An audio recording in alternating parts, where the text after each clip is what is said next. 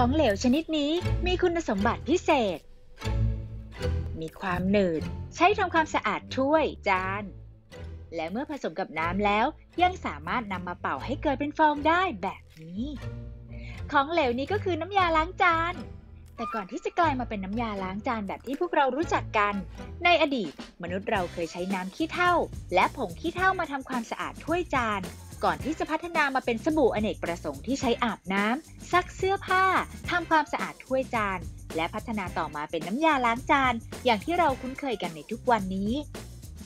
การทดลองต่อไปนี้ จะเผยให้เห็นคุณสมบัติสุดยอดของน้ำยาล้างจาน ที่จะบอกให้เราเข้าใจว่าทำไมมันถึงทำความสะอาดจานชามของเราได้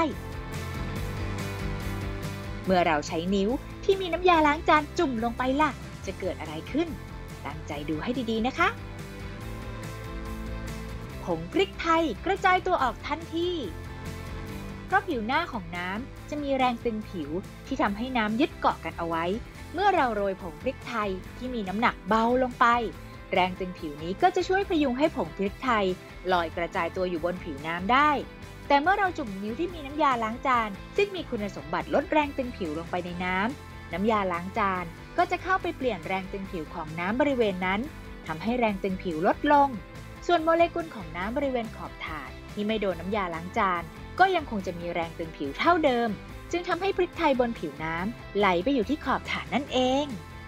เพราะแบบนี้ล่ะ น้ำยาล้างจานที่มีสารลดแรงตึงผิว จึงช่วยล้างไขมัน สิ่งสกปรก และเชื้อโรคออกไปจากภาชนะถ้วยจานที่เราใช้ได้นั่นเองด้วยการคิดเลนเจอร์